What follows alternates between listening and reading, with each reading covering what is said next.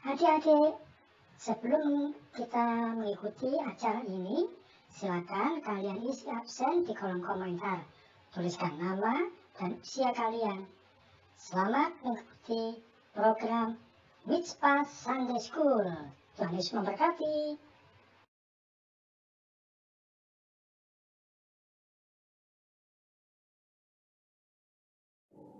Shalom, selamat hari Minggu. Apa kabar kalian semuanya? Kak Sisil harap dalam keadaan yang baik-baik semuanya ya. Senang sekali saya Kak Sisilia bisa berjumpa kembali dengan adik-adik semuanya. Nah, beberapa hari yang lalu kita memperingati Hari Kemerdekaan Bangsa Indonesia. Siapa yang tahu diperingati tanggal berapa? Kapan bangsa Indonesia merdeka? Ya, tanggal 17 Agustus 1945. Merdeka, merdeka. Nah, bangsa Indonesia sudah merdeka adik-adik. Apa sih merdeka itu? Ada yang tahu? Merdeka artinya bebas. Nah, bangsa Indonesia sudah merdeka dari penjajah bangsa Indonesia sudah bebas dari penjajah.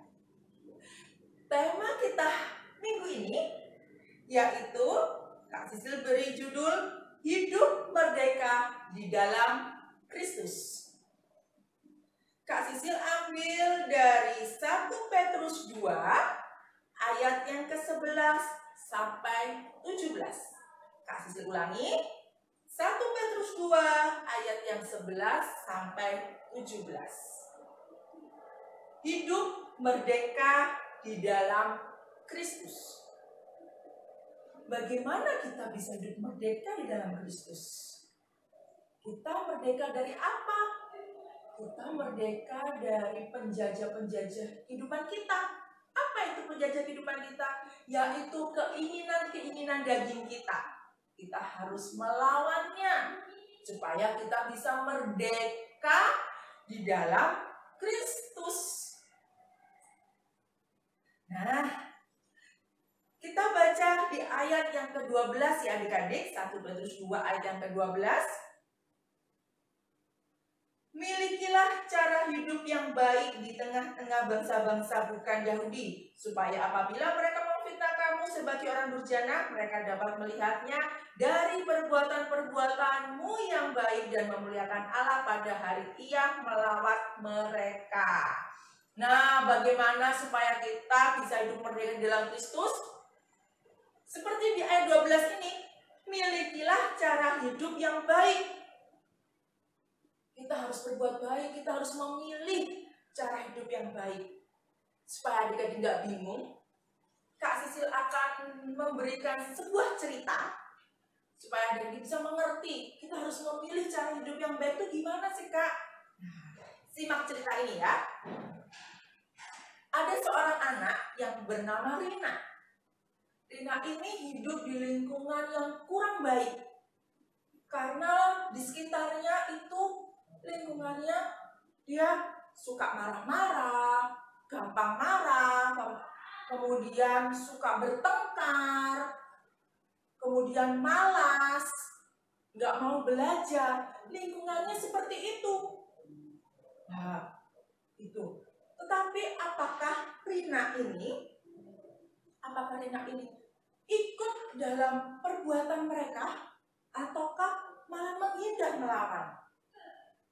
Nah, Rina ini, perbuatan Rina ini dia melawan dia melawan keinginan daging itu dia tidak terjumus masuk ke dalam perbuatan-perbuatan di lingkungan sekitar mereka nah dengan cara apa Rina ingat nasihat orang tuanya bahwa dia tidak boleh ikut-ikutan perbuatan mereka yang tercela itu dia harus menjadi terang bagi mereka Rina berbuat baik Rina membaca firman Tuhan setiap hari dan Rina berdoa setiap hari supaya Tuhan menuntun setiap langkah-langkah Rina supaya dia tidak masuk atau terjumus atau ikut-ikutan ke dalam perbuatan mereka yang tidak baik.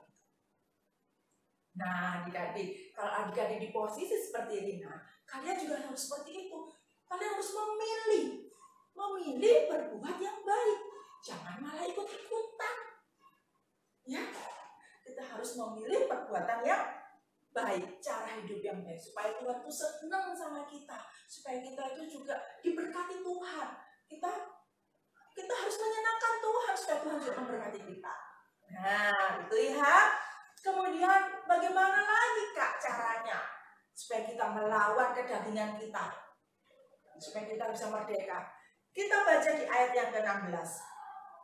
Hiduplah sebagai orang yang merdeka dan bukan seperti mereka yang menyalahgunakan kemerdekaan itu.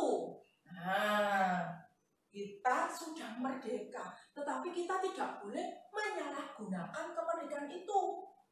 Kita diberi kebebasan, tapi kita tidak boleh menyalahgunakan kebebasannya itu. Bingung aku kak, gimana ya? Kita eh, kita diberi kebebasan, tetapi tidak boleh menyalahgunakan. Supaya adik-adik tidak bingung, Kak Sisil akan member, uh, memberikan cerita lagi, mengilustrasikan cerita lagi. Ya, simak ceritanya supaya paham bagaimana sih. Yang maksud Tuhan ini supaya kita tidak menyalahgunakannya. Nah, ada seorang anak yang bernama Sony. Anak ini diberi kebebasan oleh orang tuanya untuk memakai gadget. Ya, diberi ke kebebasan untuk memakai gadget. Tetapi ada syaratnya.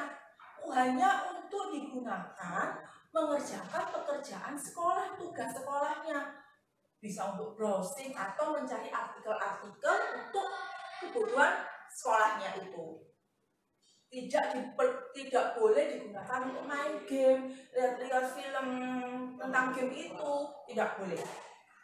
Suatu ketika Sony ini saking asiknya memegang gadgetnya itu, dia lupa akan syarat yang diberikan orang tuanya.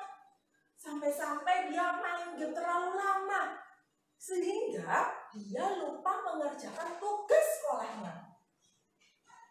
Nah, itu tadi. Sony ini sudah menyalahgunakan kebebasannya. Dia sudah diberikan, diperbolehkan pegang gadget. Tapi dia malah main game. Nah, sehingga dia tidak bisa menyelesaikan pekerjaan sekolahnya. Nah, itu itu perbuatan yang tidak baik kita tidak boleh menyalahgunakan kebebasan itu. Tuhan sudah memberikan kita kebebasan, tetapi kita tidak boleh menyalahgunakannya. Itu ya, adik-adik ya. Nah, adik-adik yang dikasih Tuhan, kita itu harus menyenangkan hati Tuhan. Kenapa? Karena Tuhan Yesus adalah komandan kita. Apa komandan itu? Komandan adalah pemimpin kita harus menuruti, mentaati apa yang Tuhan Yesus perintahkan kepada kita. Ya, kita harus menjadi anak yang penurut, anak yang taat. Perintah-perintah Tuhan kita harus taati, kita harus turuti, kita harus menyenangkan hati Tuhan supaya Tuhan memberkati kita, supaya Tuhan menjaga kita, karena kita sudah merdeka. Karena supaya kita juga hidup merdeka di dalam Kristus. Nah, kasih ulas lagi ya. Kita harus melawan keinginan daging kita dengan cara apa? Apa pertama tadi? Memilih cara hidup yang baik. Yang kedua apa tadi?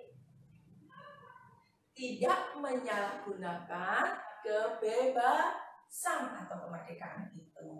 Nah, adik-adik semuanya, ayat emas yang Kak Sisil ambil minggu ini yaitu di Roma 8 ayat yang kedua.